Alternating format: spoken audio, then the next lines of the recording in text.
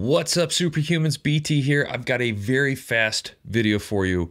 Uh, it's unscripted. That's because this information literally just came across my desk and I'm leaving out of town. So I know I need to get this video to you as fast as possible. A few months ago, I did a video like, is Sleep Me going bankrupt? And so many of you were like, I can't get a hold of them. I bought a Dock Pro. It failed. I, I can't get a hold of anybody.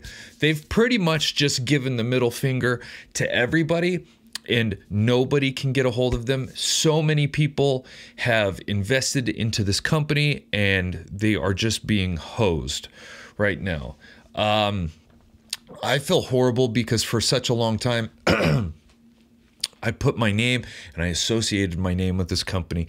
And that's when they had their previous ownership and they were great. And now that they have this new ownership, I don't know what's going on.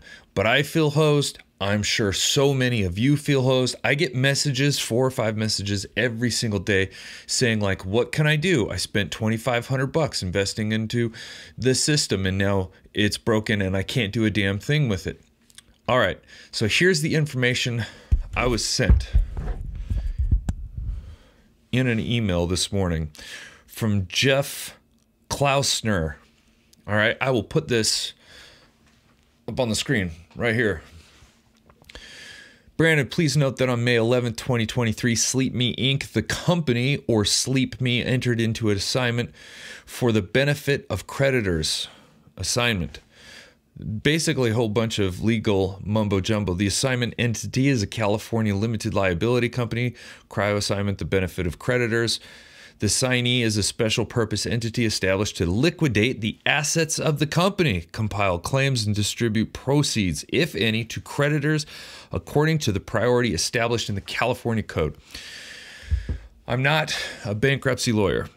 My wife is much smarter than me, and she said, This sounds like if you feel like Sleep Me owes you money or something, you can file a claim. And right here, I have the link to file that claim. So I will post that in the description. So if you feel like Sleep Me basically left you out to dry after you paid a ton of money, they're not honoring warranty.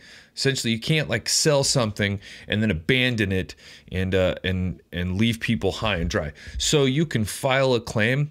Let's see if that works. Again, I'm really sorry. I've been emailing them eh, once a week since I made that previous video.